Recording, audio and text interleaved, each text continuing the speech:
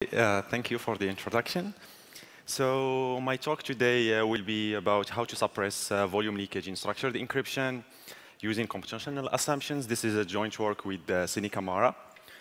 OK, let's start with first recalling what structured encryption, or SCE for short. So SCE is a cryptographic primitive uh, that was introduced by Chase and Kamara in 2010 that allows the user to encrypt the data structure in such a way that it can privately query it uh, later on. And in particular, there is a setup algorithm that takes as input a security parameter and the data structure and output a, a key and an encrypted data structure. And the encrypted data structure is sent to the server. And at query time, the user will run a token algorithm that takes as input a key and the query and will output a token. The token is sent to the, to the server. And once the server receives uh, the token, it will run a query algorithm that takes uh, as inputs the token and the encrypted data structure and outputs an answer, and the answer is sent to the, to the user. Okay? So we call the information that the server learns at setup time, the setup leakage, and it may include, for example, the size of the data structure. And we call the information that the server learns at query time, the query leakage, and it may include, for example, the search pattern or the access pattern. And at a very high level, we say that a SCE scheme is, is LSLQ secure if, for one, it doesn't reveal any information about the data structure beyond the setup leakage, and for two, it doesn't reveal any information about the data structure and queries beyond the query leakage. And for more detailed security definition, please refer to, to the CK10 paper. OK, so when designing or analyzing structured encryption schemes, there are three main dimensions that one should pay attention to, which are efficiency, security, and expressiveness. And in fact, structured encryption has greatly evolved uh, during the last two decades. And there are a lot of works that have investigated, for example, how to design efficient scheme, uh, or how to design more expressive schemes, or how to attack or uh, design more secure uh, schemes. However, one aspect that uh, was that didn't receive a lot of attention or, and is poorly understood is leakage. And actually, there are three main directions that one can reason about leakage and can help us to better understand it, which are cryptanalysis, measure, and suppression. I'm going to detail each of these uh, directions in the following slides. So so what do we mean by cryptanalysis in encrypted search? So it means the following. So given a leakage profile, we want to design attacks that recover either the queries or and the, the, the data under some assumptions. And the goal of cryptanalysis is that we want to empirically learn uh, the impact of a specific leakage profile in, in, in the real world. However, the main limitations of cryptanalysis is that the gap between the assumptions and reality can get wide, okay? So the second direction is measure, and what do we mean by this is that given a leakage profile, we want to somehow quantify, for example, in bits, the specific leakage pattern. And the goal here is that we want to theoretically compare between leakage patterns. But the main limitations uh, of this approach is maybe there is no meaningful uh, total order. And this is something that we are currently working on. And the third dimension, which is suppression, which we believe is one of the most important directions, uh, means the following. So given a leakage profile, we want to design a compiler or a transform that will suppress a specific leakage pattern. And the goal here is we want to design these tools that will suppress various leakage patterns. However, the main limitations of this approach is that it will incur some overhead. Okay? Um, and as, the, the, uh, as, this talk is about leakage suppression, I will recall two main approaches that were uh, introduced by, uh, uh that, that, we introduced last year at Crypto, which are compilation and data structure transformation. So let's start with compilation. So compilation is a mechanism that takes a structured encryption scheme as input with a leakage profile lambda, such that the query leakage is equal to two patterns, pattern one and pattern two, and the compilation will output a new structured encryption scheme with a new leakage profile, lambda prime, such that the query leakage is equal only to pattern one. So that is, we have suppressed pattern two. So the second approach is the data structure transformation, which works as follows. So given a data structure, okay, uh, we will apply our transform that will output a new data structure, the star that we will give as input to a structured encryption scheme, and itself it will output an encrypted data structure.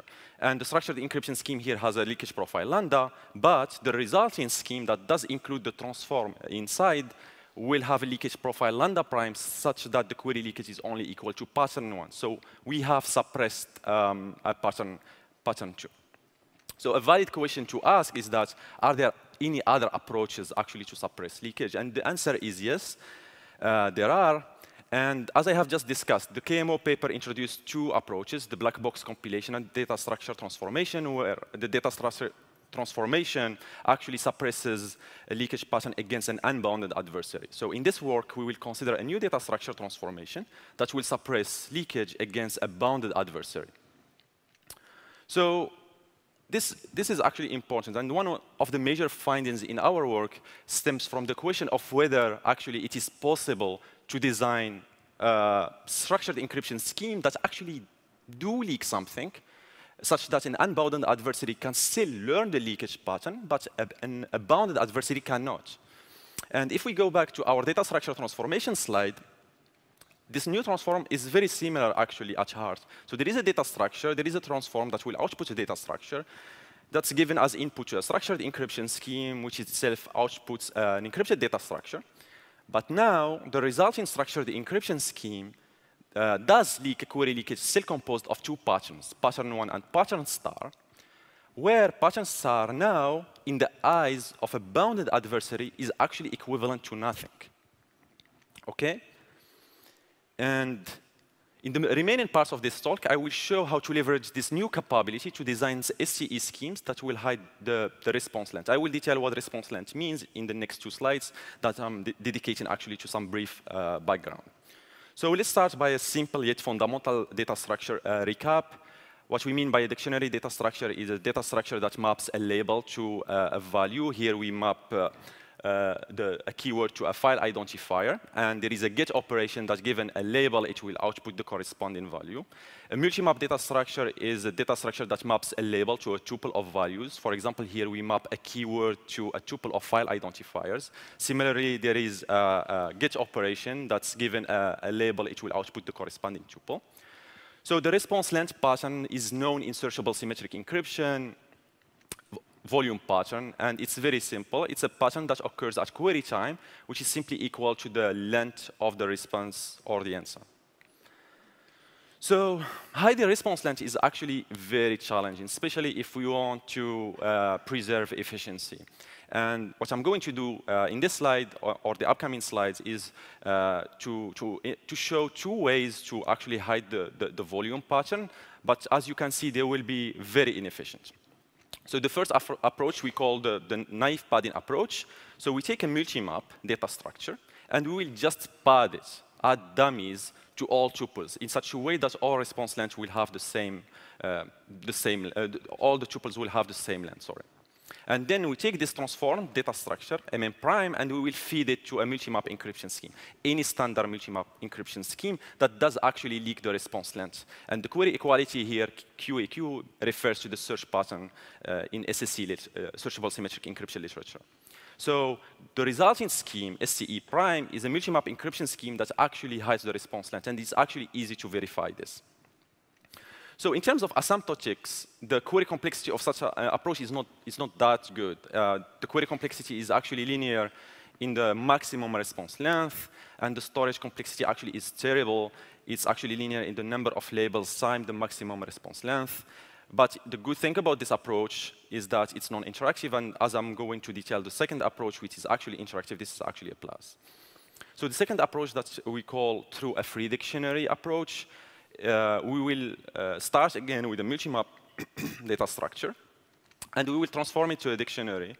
Uh, and then we take this dictionary structure and we will add dummies to it. And the number of dummies that we will add to this dictionary data structure is equal to the maximum response length uh, minus, uh, 1. And then we will feed this dictionary data structure to a, a, dictionary encryption scheme that has the property of being leakage free. And we can uh, instantiate such a, such a uh, primitive using oblivious RAM in such a way that the resulting structured encryption scheme uh, will hide the response length.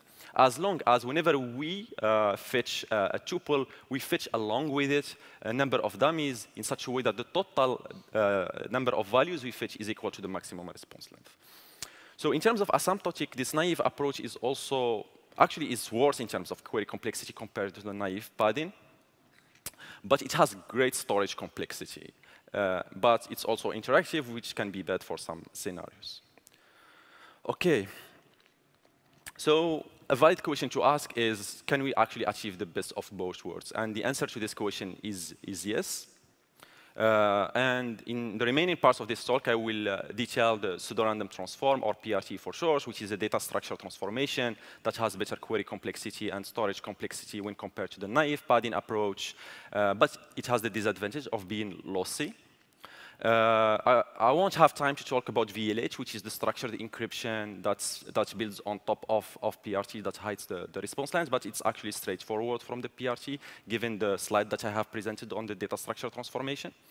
I will detail, though, the, the subgraph transform, or DST for short, which is a data structure transformation that actually it's non-lossy, uh, that has better actually storage overhead, but it has quite uh, worse uh, query complexity compared to the, to the PRT.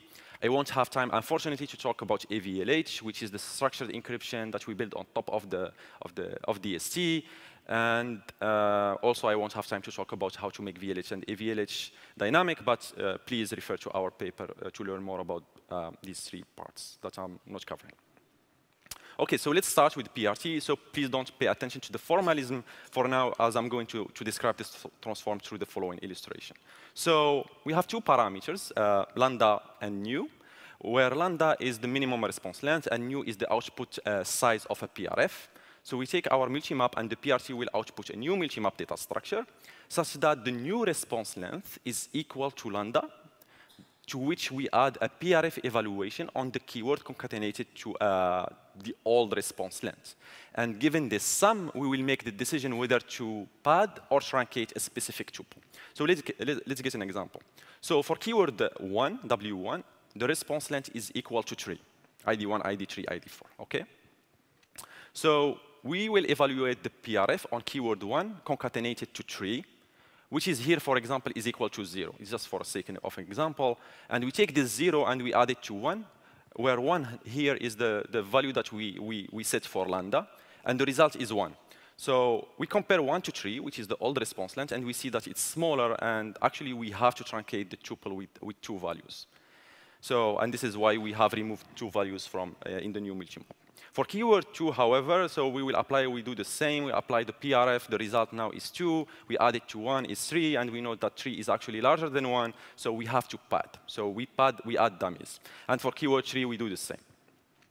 And uh, we, in PRT, we also have this ranking function, which is basically ranking the file identifiers within a tuple. And the purpose of this, uh, of this ranking function is that um, uh, it will allow us to lose only the less significant uh, file identifiers, and we will preserve uh, the most significant, which is very important from a practical point of view. So, um, uh, valid question to ask what about the number of truncation, what about storage overhead. And for this analysis, we had to assume a special type of multi-maps that we call Zipf distributed multi-maps um, that I'm going to detail now. So what do we mean by this? So a Zipf distributed multi-map has response lengths that are Zipf distributed, where the Arth uh, response length is equal to, to this formula. It's not important to parse it. Actually, the illustration gives you an idea about how the response lengths are distributed. So the choice of Zipf distribution was not arbitrary, actually. It's very common to find Zipf distributed datasets in, uh, in practice. And actually, we have run Enron just to check the response length distribution. Enron is a dataset composed of half a million, roughly, uh, emails. And as you can see, the, the, the graph here, the, the, response length distribution is a power law or a Zipf distribution with some Zipf distribution, sorry, with some parameter. Okay, so this slide basically summarized uh, our main uh, finding. It's not, I don't want you to get distracted with the details, but the main takeaway from this slide is we were able to show that the storage overhead of PRT is actually alpha times the storage overhead of the naive approach, where alpha is strictly smaller than one. And you can think of alpha as the storage redu reduction multiplicative factor. with respect to truncations, we were able to show that um, truncations are actually sublinear in the number of labels equal to this, this, this formula here. Um, I just want to note that this analysis is not tied specifically to Zipf. It can be, we can do the same analysis for power law distribution, and most probably we will have the same results, but just to give you an idea.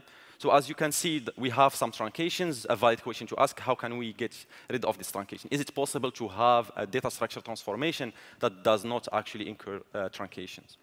Um, and this is what we are going to cover with the DST, or density subgraph transform. So the name will make sense, uh, I promise, at the end of this talk.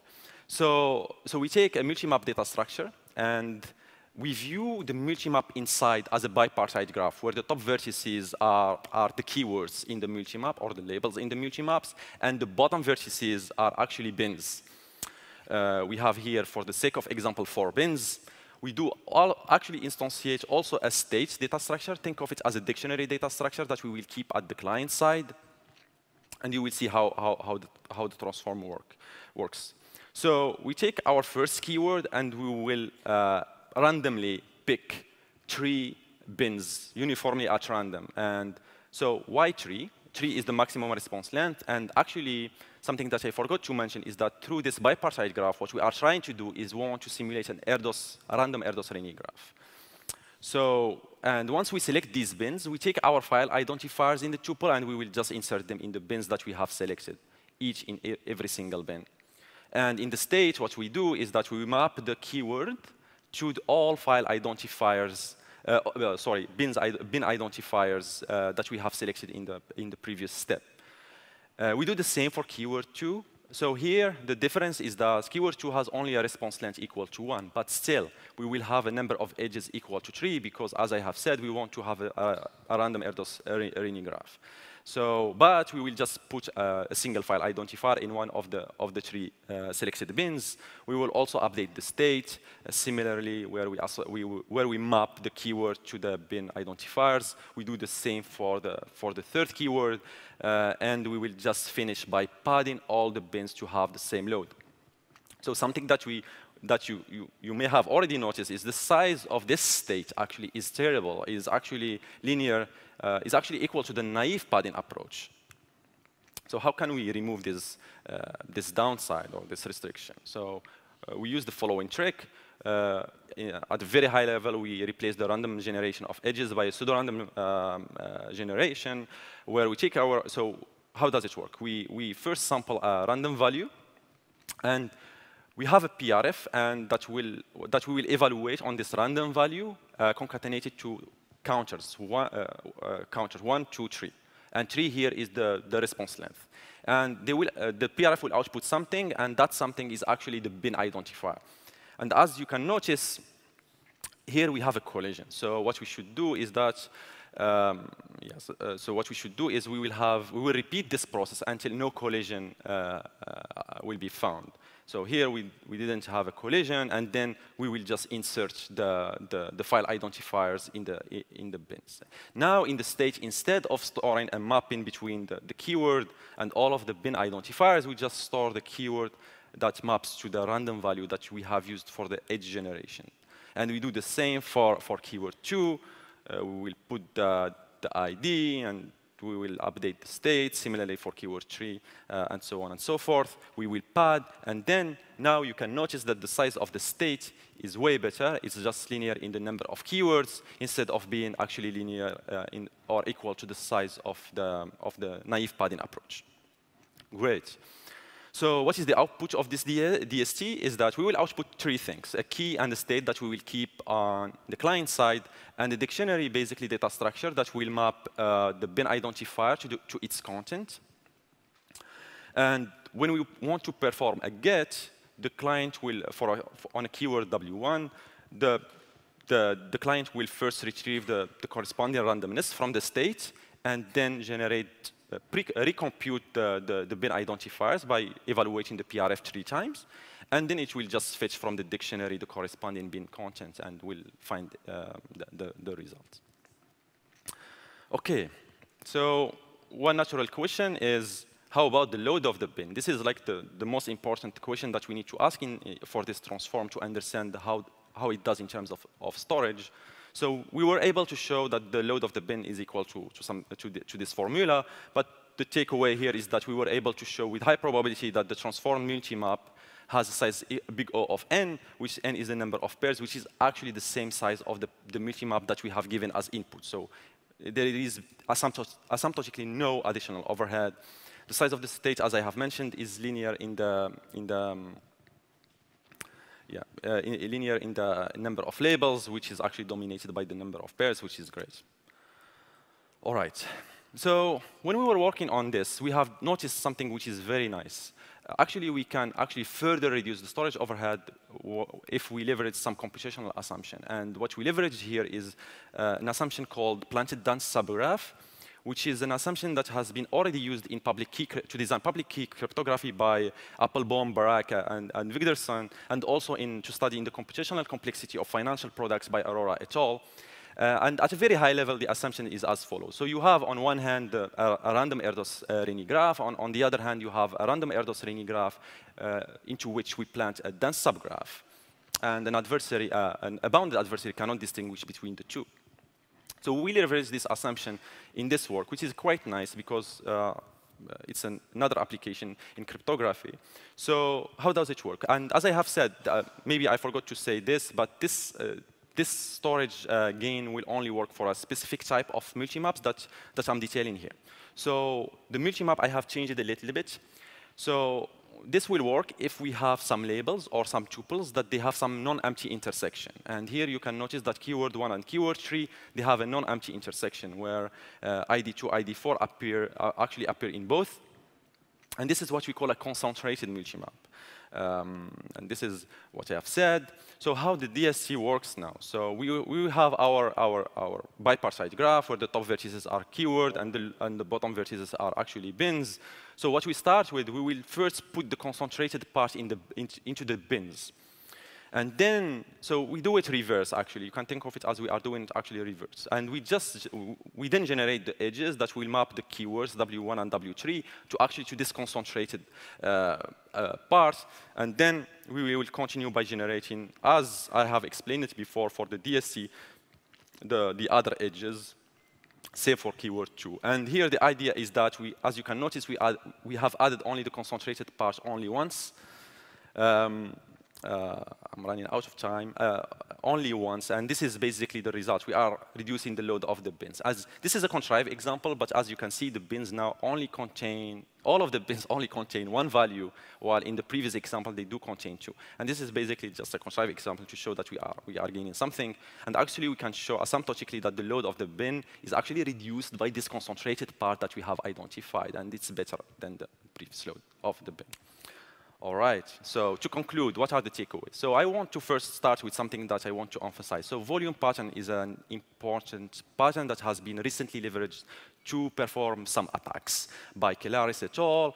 and by Grubbs et al. Uh, to attack uh, structured encryption ORAM because it's just based on the volume. So this is an important work that shows how to design structured encryption schemes that they are not prone to these attacks. And as, I, as you can see, uh, uh, you know, hopefully this talk have shown that it's not actually trivial to, to, to, to suppress the volume pattern. Uh, we have seen that trivial approaches, they are terrible in terms of efficiency. And I want also to stress that this line of work, hiding the volume or hiding other pattern, is a very important uh, research direction in structured encryption and encrypted search in general. So we have started this in 2018 by the leakage suppression work, and this work is actually another step uh, in, into this direction. Hopefully you didn't fall asleep and you remember that we have seen uh, the PRT and the DST transform. Uh, something that I want also to, to, to emphasize here is that if we go back a little bit and if you think about suppressing the volume pattern, intuitively you, you might think that hiding volume information theoretically is not possible without padding. But we got around this using computational assumptions, which is kind of the first work that actually do this for any pattern and for volume in, par in particular. And hopefully this line of work will help us actually to suppress other patterns in structured encryption. And encrypted search in general. Another point that we introduce in this work is that there is this new trade-off between correctness and security.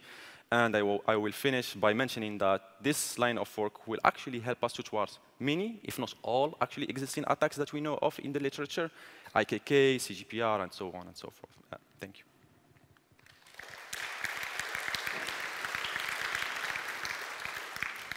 So we, we don't have time for question. Let's take the question offline.